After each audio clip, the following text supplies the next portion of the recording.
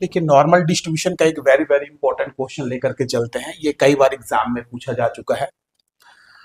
In a test on 2000 thousand electric bulbs it was found that the life of particular make was normally distributed with an average life 2040 hours and standard deviation of 60 hours estimate the number of bulbs likely to burn for first है more than 2150 hours, less than 1950 hours, more than 1920 and less than 2160 hours.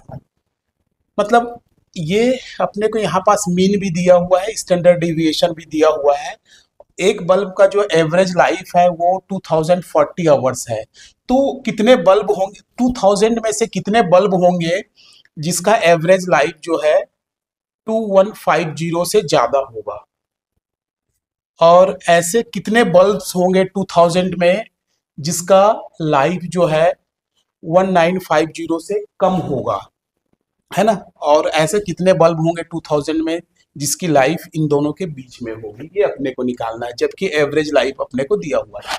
कुछ भी नहीं करना है बहुत ही easy सवाल है देखिए। जो भी क्वेश्चन आपको दिया रहेगा जैसे आ, जो नॉर्मल वेरिएट है 2150 इसका Z score निकालिएगा X minus mu upon sigma से। इसका जेड स्कोर निकालिएगा। इसका जेड स्कोर जो भी टेबल से निकलेगा, इसका जो भी जेड स्कोर निकलेगा, उसका टेबल देख लेंगे। कौन सा? एरिया अंडर नॉर्मल कर्व से। नॉर्मल कर्व से इसका क्या निकाल लेंगे? एरिया निकालेंगे। ये जेड जेड की वैल्यू यहाँ से निकाल, यहाँ से जेड की वैल्यू आ जाएगी।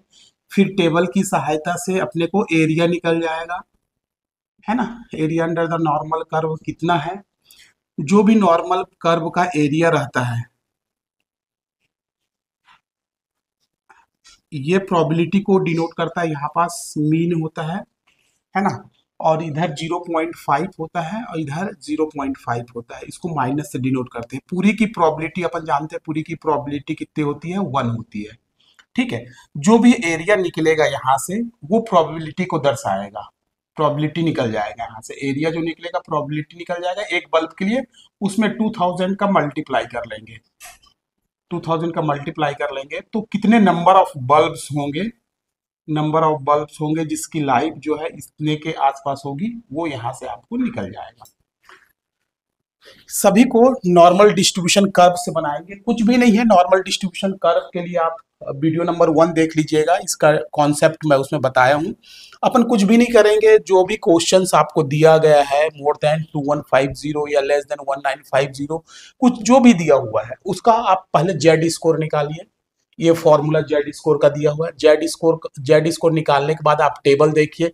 टेबल से आपको एरिया मिल जाएगा। जो ये एरिया जो मिलता है ये प्रोबेबिलिटी को दर्शाता है। ये प्रोबेबिलिटी को दिखाएगा। तो यहाँ से जो भी एरिया निकलेगा वो इस पूरे एरिया का प्रोबेबिलिटी को दर्शाएगा। उसमें जितना भी 2000 इलेक्ट्रिक बल्ब्स के बारे में पूछा है जो नंबर है उसका मल्टीप्लाई कर दीजिए। तो नंबर ऑफ़ बल्ब्स निकल जाएँगे आ, जिसकी एवरेज लाइफ इससे ज़्यादा होगी? चलिए एक एक करके अपन इसको सॉल्व करते हैं, देखते हैं कैसे निकलेगा। देखिए इसका सॉल्यूशन कैसे देंगे? सॉल्यूशन गिवन दैट इसमें क्या क्या चीज़ आपको दिया हुआ है, आप उसको पहले लिख लेंगे। गिवन दैट एवरेज लाइफ आपको दिया हुआ है। एवरेज लाइफ मतलब मीन की value mu equals to two zero four zero और standard deviation standard deviation sigma equals to कितना दिया हुआ है? Sixty hours. ये आपको दिया गया है। फ़र्स्ट को कैलकुलेट करेंगे। For variate X equals to two one five zero. For two one five zero. लेकिन आपके से ये पूछा गया है कि more than two one five zero के बारे में पूछा गया है। तो अपन टू वन फाइव ज़ीरो निकालते हैं। जब भी एरिया निकालेंगे तो टू वन फाइव ज़ीरो से आगे की एरिया को निकालेंगे। तो यहाँ पास आप जेड स्कोर को निकालिए जेड स्कोर इक्वल्स टू क्या हो जाएगा? X minus mu upon sigma तो ये हो जाएगा। एक्स की वैल्यू कितना है आपके पास? Two one five zero minus two zero four zero sigma की वैल्यू कितना है? सिक्सटी तो ये निकालिएगा तो Z is equal to one point eight three आएगा। ठीक है? अब क्या करना है? इसकी वैल्यू को आपको एरिया अंडर नॉर्मल कर्व से देखना है। एरिया अंडर नॉर्मल कर्व से इसकी वैल्यू देखना आपको। कितना है? है ना? तो z इज़ इक्व टू चलिए मैं यहाँ टेबल बना करके बताता हूँ कि कितना होगा करके, कैसे निकालते हैं टेबल कैसे देखते हैं। जेड स्कोर 1.83 निकला जेड स्कोर जेड स्कोर यहाँ पास रहेगा। तो इसके अगेंस्ट में एरिया अगेंस्ट जेड स्कोर इसके अगेंस्ट में एरिया कितना रहेगा? एरिया किसका पूछ रहा है? नॉर्मल डिस्ट्रीब्यूशन कर्व का। एक बार इसको नॉर्मल कर्व में समझ लीजिए कि ये पूछ क्या रहा है। ये अपन किस पे निकाल रहे हैं? टू वन फाइव ज़ीरो पे exact two one five zero पे निकाल रहे हैं। लेकिन ये more than two one five zero hours के बारे में पूछ रहा है। तो इसको पहले आप आ, इस टेबल से समझने की कोशिश कीजिए। ये नॉर्मल डिस्ट्रीब्यूटेड कर्व है। ठीक है, यहाँ पास मीन है। मीन है। ये कितना है? टू ज़ीरो फोर ज़ीरो इससे जो ज़्यादा होगा, वो राइट हैंड साइड पे होगा। तो यहाँ पास जेड इक्व टू कितना है? यहाँ पास जो जेड की वैल्यू है 1.83 ये है। या यहाँ पास इसकी वैल्यू कितना है? 2150 ठीक है? तो x equal to two one five zero पे अपन निकाल रहे हैं जेड स्कोर 1.83 मतलब ये वाले एरिया निकाल रहे हैं, ये वाली एरिया को निकाल रहे हैं। ठीक है? ये वाली एरिया तो रिक्वायर्ड एरिया अगेंस्ट जेड 1.83 कितना मिलेगा? रिक्वायर्ड एरिया अपन इससे निकालेंगे। Area under the normal curve ऐसा टेबल आपको बुक में मिलेगा। एग्ज़ाम में भी मिलेगा। यदि वैल्यू दिया रहेगा, यदि नहीं दिया रहेगा तो आप एरिया अंडर नॉर्मल कर्व का टेबल मांग सकते हैं। तो उसमें क्या देखिए, यहाँ zero point zero zero point one, zero point two, ऐसा करके one point eight, one point nine two, ऐसा करके पूरा लिखा रहेगा डेटा। यहाँ इसकी वैल्यू दी रहेगी। कभी कभी क्या होता है कि आपको एरिया दिया रहता है, वहाँ से जेड स्कोर निकालना रहता है कभी कभी जेड स्कोर दिया रहता है, वहाँ से एरिया निकालना रहता है। इससे ठीक पहले वाले क्वेश्चन में मेरा जो वीडियो नंबर टू है, वहाँ एरिया से रिलेटेड अपन जेड जेड स्कोर निकाल देते हैं। जहाँ पास अपने को मीन और स्टैंडर्ड एविएशन का वैल्यू निकालने के लिए बोला गया था। वहाँ एरिया दिया गया था, उससे जेड स्कोर निकाले थे। यहाँ जेड स्कोर से अपन क्या निकाल रहे हैं? एरिया निकाल रहे हैं। तो ऐसा लिखा रहेगा, है ना? आप टेबल में एक बार देख लीजिए इसको। अपने को क्या, किस पे वैल्यू चाहिए? 1.83 पे। ठीक है? तो 1.8 यहाँ पास लिखा हुआ है। इसका थ्री नंबर का देख लीजिए। ज़ीरो वन टू थ्री तो ज़ीरो वन टू थ्री तो इस 1.83 की वैल्यू 0.4664 ये आएगा। ठीक है? निकालना सीख गए? जेड स्कोर के कॉरिस्पॉन्डिंग एरिया कैसे निकालते हैं टेबल से? आप मेरे ख्याल से सीख गए होंगे।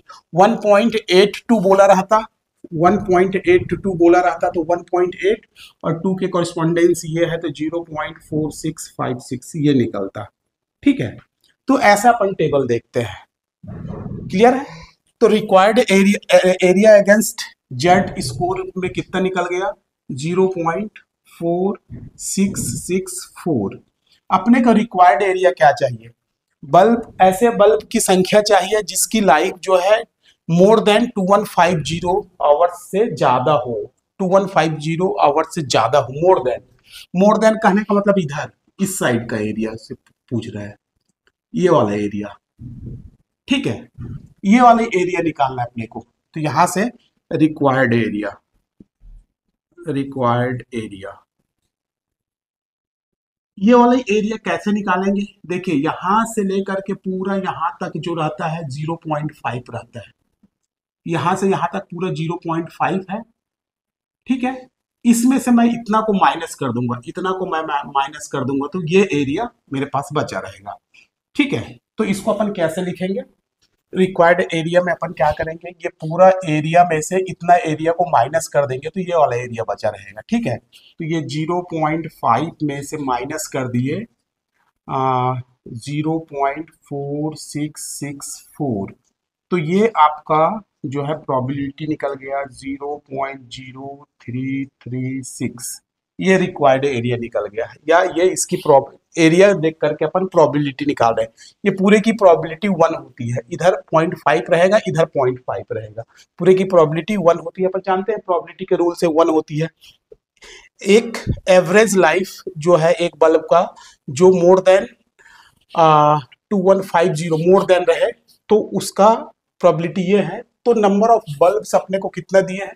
टू थाउज़ेंड बल्ब में से। तो इसको कैसे लिखेंगे? देखिए, इसको टू थाउज़ेंड से मल्टीप्लाई कीजिए the number of bulbs the number of bulb likely to burn more than 2150 hours. Is हो जाएगा 2000 into zero point zero three three six इसका मल्टीप्लाई कीजिएगा तो सिक्सटी सेवन पॉइंट टू आएगा। नंबर ऑफ़ बल्ब्स हैं तो point में bulb हो नहीं सकता तो 67 बल्ब्स ऐसे होंगे जिसका एव, जो लाइफ होगी वो 2150 आवर्स से ज़्यादा होगी। ये निकल गया। तो बहुत इजी है, आपको केवल टेबल देखना है रिक्वायर्ड एरिया निकालना है। रिक्वायर्ड एरिया निकालने के बाद 2000 से मल्टीप्लाई करने के बाद आ जाएगा। ठीक है सेकेंड पार्ट करते हैं। लेस देन 1950 तो less than one nine five zero को अपन नॉर्मल ग्राफ से देख लेंगे। अपन variate X equals to for X equals to one nine five zero पे जेड स्कोर को अपन क्या करेंगे? जेड स्कोर निकालेंगे तो ये हो जाएगा X minus mu by sigma. तो एक्स कितना था अपने पास? Two zero four zero.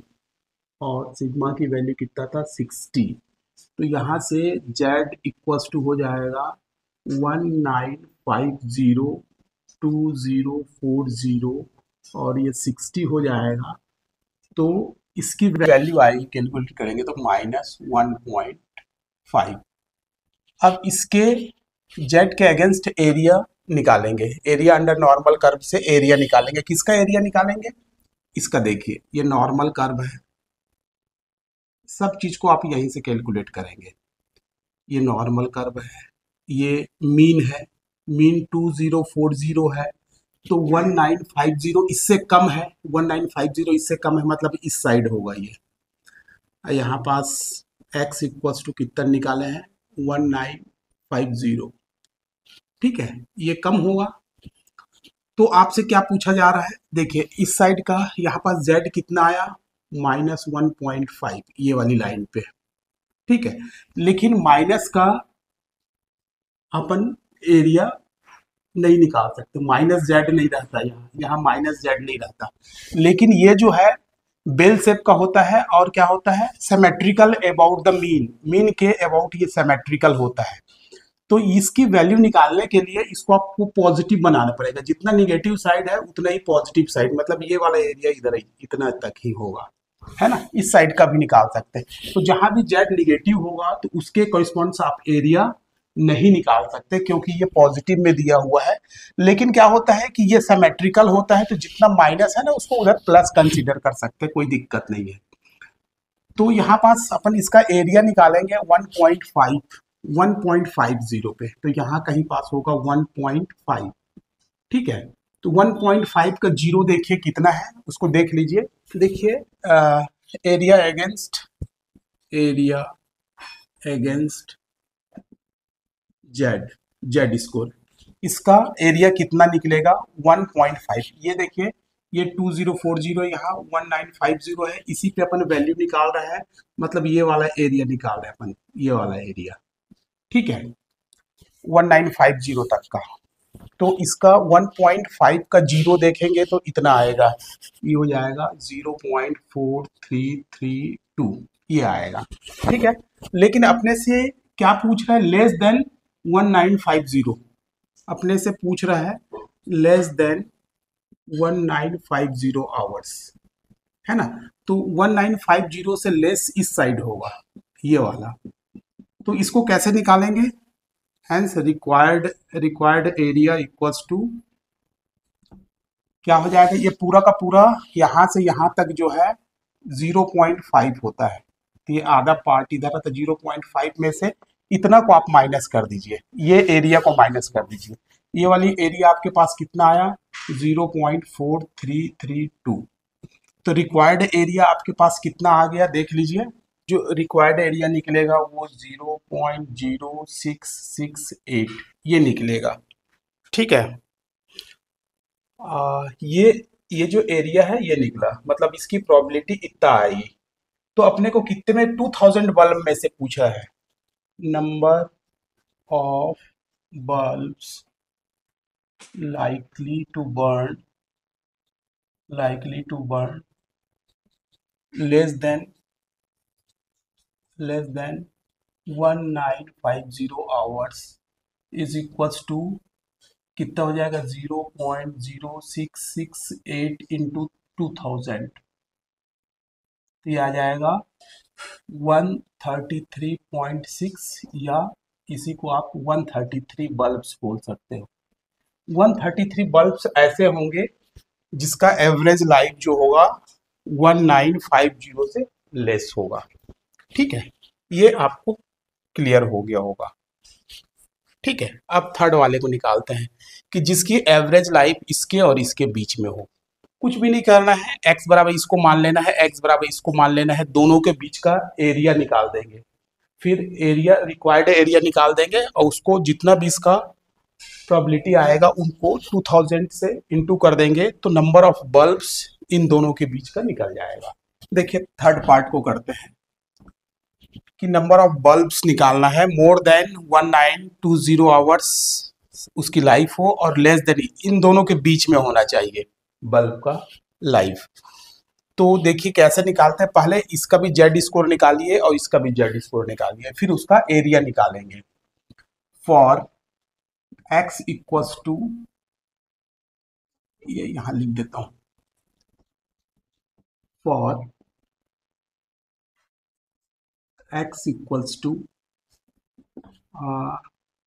one nine two zero इसके लिए जेड स्कोर क्या हो जाएगा देखिए। Z is equal to one nine two zero minus mu की वैल्यू कितना है? सॉरी ये एक्स की म्यू की वैल्यू म्यू की वैल्यू है two zero four zero upon sixty ये माइनस में आ जाएगा minus two for X equals to two one six zero यहाँ से जेड स्कोर देखेंगे तो ये आ जाएगा X two one six zero minus two zero four zero by sixty इसको सॉल्व कीजिएगा तो टी टू निकलेगा। तो ये जो जेड स्कोर है, ये देखिए, इसकी जो प्रोबेबिलिटी है, थोड़ा सा अच्छे से बना लीजिएगा। है ना? ये यहाँ मीन है। और यहाँ जो जेड स्कोर है, ये माइनस टू के पास है। Z is equals to minus two यहाँ पास मान लीजिए Z is equals to two है। ठीक है? और ये जो है जेड का निगेटिव वैल्यू तो निकलता नहीं है, इस साइड की वैल्यू निकलेगा नहीं। तो जितना ये होगा, उतना ही इस साइड भी होगा। ये रेंज और ये रेंज बराबर होगा। अपने को इसी का रिक्वायर्ड एरिया इसी का निकालना है। इसी का रिक्वायर्ड एरिया निकाल करके 2000 से मल्टीप्लाई करना है। तो यहाँ जो प्रोबेबिलिटी निकलेगा, उसको अपन कैसे लिखते हैं, उसको देखिए। यहाँ की जो भी प्रोबेबिलिटी होगी, वो प्रोबेबिलिटी माइनस टू से Z is less than equals to two के बीच में रहेगी, ये प्रॉबिलिटी होगी। जेड जो होगा, ये माइनस टू सौ टू के बीच में होगा। लेकिन इसका जेड स्कोर अपन निकाल नहीं सकते तो इसका एरिया इतना ही होगा जितना एरिया इसका होगा। तो ये हो जाएगा two P zero to Z two zero two. ठीक है? अब क्या करना है आपको? टू इन टू ये समझ में आया आपको? ये माइनस टू से टू कर लिए है, लेकिन इसका जेड स्कोर देखिए, माइनस का टेबल यहाँ, माइनस का टेबल होता ही नहीं है। तो अपन क्या करेंगे, जितना एरिया इसका होता है, उतना एरिया प्लस का भी होता है, क्योंकि ये सेमेट्रिकल होता है। तो एरिया में कोई फ़र्क नहीं पड़ेगा, ये इतना ही आए जेड स्क्वायर इसका इतना ही आएगा। तो टू इंटू अब इसका एरिया अंडर नॉर्मल कर्व निकाल दीजिए किसका? Z is equal to two का। तो Z is equal to two का एरिया अंडर कर्व निकालेंगे तो ये निकलेगा। टू का देखिए टू का ज़ीरो देखना है तो ये निकलेगा zero point four seven seven two तो इसका मल्टीप्लाई कीजिए टू टू ज़ा फोर फोर फाइव नाइन। ये zero point nine four four निकलेगा। ठीक है? ये एरिया इतना निकलेगा। तो इसमें क्या है? Number of bulbs likely to likely to burn more than 1920 hours and less than less than 2160 hours is equals to कितने नंबर ऑफ़ बल्ब है? 2000 into zero point nine five four four तो इसका रिज़ल्ट कितना आएगा? One nine zero eight point eight आएगा शायद इसका। One nine zero eight point two ये नंबर ऑफ़ जो बल्ब्स होंगे, वो वन नाइन ज़ीरो एट ऐसे बल्ब होंगे जो कि इस रेंज में होंगे, जिसका एवरेज लाइफ इसके बीच में होगी। ठीक है? मेरे ख्याल से आपको पूरा समझ में आ गया होगा। यदि समझ में आ गया होगा तो वीडियो को आप लाइक करेंगे, अपने दोस्तों के साथ शेयर करेंगे और यदि इसमें कुछ प्रॉब्लम होगा तो आप कमेंट करके मेरे से पूछ सकते हैं। Thank you thank you very much